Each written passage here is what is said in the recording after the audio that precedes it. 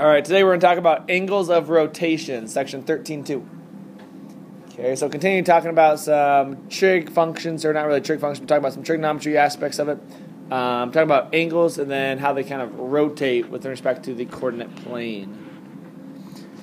Uh, to draw an angle with a given measure, start with the initial side on the x-axis and rotate the terminal side to show the angle measure. Uh, the key here, you all know the quadrants? Do you all know the quadrants? How many quadrants are there? There are four. And to label them, you'd go which way? Counterclockwise. So you have quadrant one, quadrant two, quadrant three, and quadrant four. So how do I rotate? Well, when it's positive, I rotate counterclockwise or going along the quadrants. So I'm going to rotate counterclockwise. Now, 90 degree rotation will get us to the y-axis. 180 gets us all the way a straight line. 270 to back again to the y-axis. Then if I go complete all the way around, how many degrees do you suppose I go? 360. And why is it 360? Because it makes like a whole circle all the way around. Okay? So again, we go clockwise or counterclockwise when it shows a positive angle measure. We're going to measure clockwise when it shows a negative measure. So again, negative, I'm just going to go the other way. It's the same thing here, okay? Coterminal angles. Coterminal angles are angles with the same initial and terminal sides. You can find the measure of an angle that is coterminal with another angle by adding 360 or subtracting 360 from the given angle. What that means here is a 65 degree angle is the same thing as a 425 degree angle. Why does that make sense? Well, if I go 425, technically I'm going to go 360 degrees, and then I'm going to go another 65 degrees, and I get the same exact angle technically. Okay? So on your assignment today, you're going to get some like really weird, weird angles. We'll look at them. They're like 890 degrees. Well, why do 890 degrees? I would subtract 720, which was two circles, and end up getting like a 170 degree angle. Okay, so don't look at these really, really crazy angles. Look at how do you get them to a common angle between 0 and 360. Um, you can also do it with subtraction. So, for example, here, if I have 65 and I subtract 360, I end up getting 295. And that'd be like if I went completely around the other way. So, if I went the negative direction all the way around, well, that gets me to another 65 degree angle, technically. Okay? Um, it's not that bad. So let's look at angles of rotation here. So number one says draw an angle with a given measure in standard position. First one is a 150 degree angle. So remember, I have quadrants one, two, three, and four. And for those of you who say we never use Roman numerals, ha, we do. Quadrants are labeled Roman numerals. Um, if you were to draw the 150 degree angle, which quadrant would you say it'd be in? It'd be in quadrant what? Two. So to go 150 degrees, I'm going to kind of estimate here. Oh, 150 degrees there. There's the line right there. That's drawing a 150 degree angle. And we are always starting at zero or like x where the x positive direction is. Number two, negative 330. Now, negative direction means I'm going to go which way? I'm going to go backwards, which is clockwise, which makes sense, right? Now, which quadrant would that be in? Negative 330. It'd be in quadrant 1 because I'm going to go all the way around. And I get a line that looks like that. There is the negative 333 degrees. Okay? All this stuff leads into, like, when you get to trig, you might do, like, some polar coordinates, um, angles of rotation. Um, does anybody want to be a mechanic? Oh, you do lots of stuff with mechanics, right? You do use a lot of the stuff, like wheel axes and um, stuff like that within the, um, I don't say the motor, but a bunch of stuff with cars. It's pretty cool stuff. Cool. Um, number three it says find the measure of two angles that are coterminal with each angle. To find them that they're coterminal, we do two things. You can either add 360 or you can subtract 360. So the first one says to add 360. So 145 plus 360 gets me? Was it? 505 degrees. That would be the exact same angle. Okay, because I just go around a whole nother time and I get back to the same exact line. Or I could subtract 145. And if I subtract 145, I get negative to what? 215 degrees. So what that's saying is 145, 505, and negative 215 would all look to be the exact same angle if you were to plot it up there. Okay. Number four, negative 130. If I add 360 to that, what would my coterminal angle be?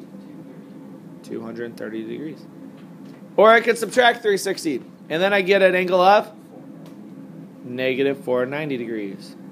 So again, all three of those would be the exact same angle. You all right, Maddie? Or are you like, man, this is way too easy? No, I'm trying to like go back. Multitasking. Yeah. Number five, 210.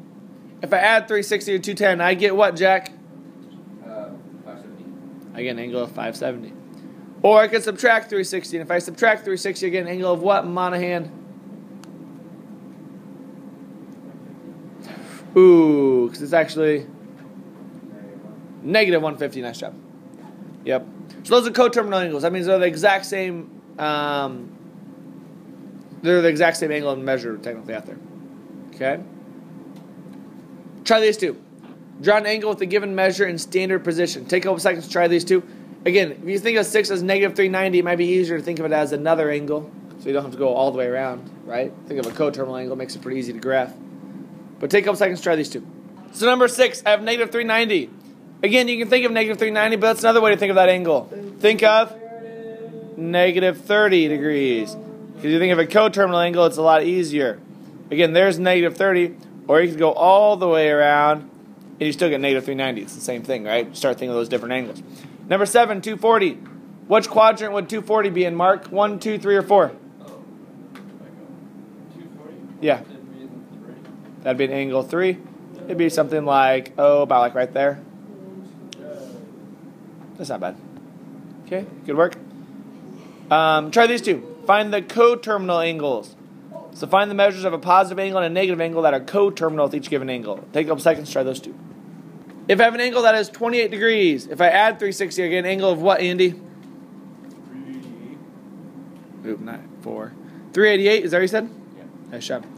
Uh, and if I subtract 360, I get an angle of what, Jarrett? Uh, negative Gosh, my numbers are off. Negative 332. Nice job.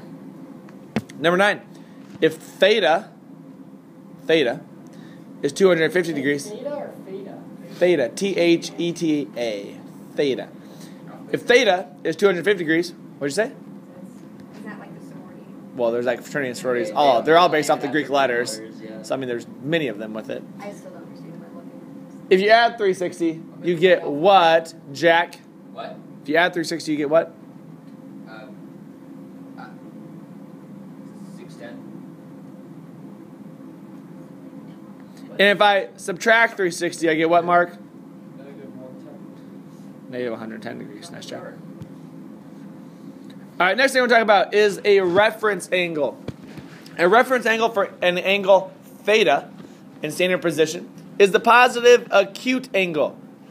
Positive acute angle formed by the terminal side of theta and the x-axis. So what this means here, a reference angle. Reference angles are always made with the x-axis. Okay, so it's the angle that is made with respect to the x-axis. Now it's always an acute angle. So what's the what's the angle have to be between then? That's it. 090. Yeah, it's got to be between 0 and 90. So that's how you know whether you do this correctly or not, because the angle has to be between 0 and 90. So if it goes in the first position here, well, it's just whatever angle it is. If you go to the second quadrant, then you take 180 minus theta. Oh, okay, or basically you're finding the angle in between there. If you go to the third quadrant, you take theta minus 180. If you go to the fourth quadrant, it's 360 minus theta. Now you're like, well, how am I going to remember which way to do this? Don't. What do you have to remember? Reference angles are between what? 0 and 90. So when you do this, you just got to subtract until you get an angle between 0 and 90, essentially. Okay? So for example here, to find the reference angle for an angle theta, draw the angle in standard position. Find the reference angle formed by the terminal side of theta in the x-axis. Find the angle measure theta prime. So I have 130 degrees.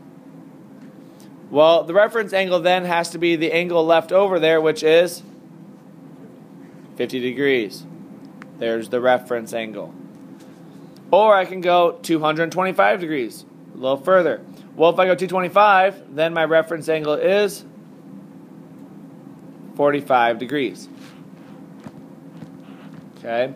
It's always the angle made with respect to the x-axis. That's the angle we're looking at. All right? So let's look at number 10 here. I have theta equals negative 120. Well, if I think of it here, okay, there's negative 120. I want this angle right here, the angle that's made with the x-axis. Well, if that's negative 120, the leftover part there has to be how many degrees? 60 degrees. Nice job.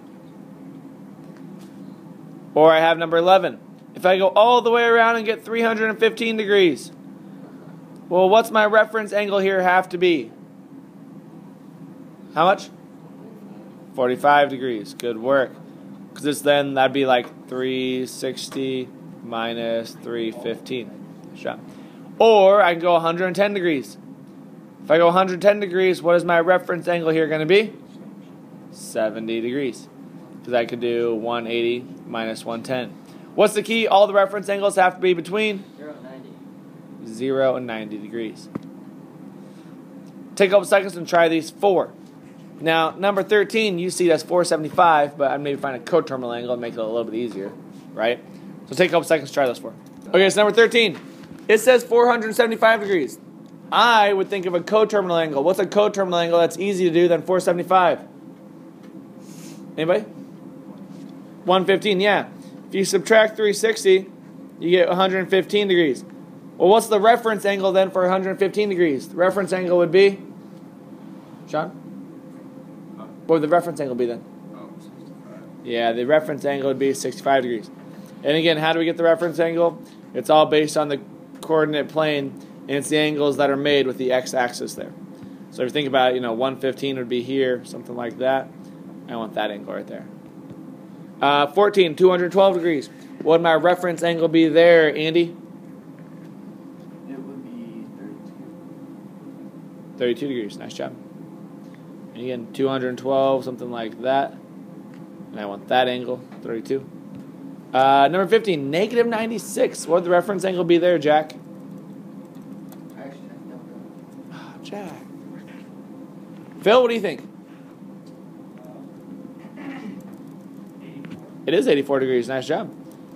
Because negative 96, well, I go clock or clockwise here. There's negative 96. I want that angle. It's 84 degrees. And last one, number 16, 320 degrees. Monahan, what do you say? 40. It is 40 degrees. Why would 320 to go all the way around, something like that. And we are left with 40 degrees. I guess it's the reference angle. Good work, sir. Why wouldn't 15 be negative? Because Um, reference angle is always positive. Good question. Reference angles, we're always talking about positive angles. Good question. It's like absolute value. It's called like the absolute value of it. Reference angle. Does that would that help you out if you think of absolute value? Here's your assignment.